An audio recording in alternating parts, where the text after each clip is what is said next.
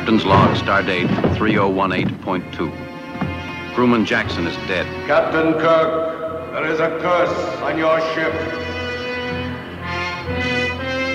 Temperature, sir. It keeps rising. We're burning up, sir.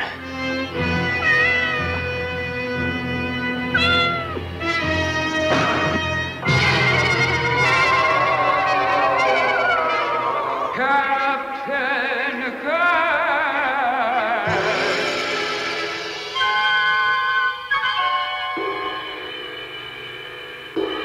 as I was.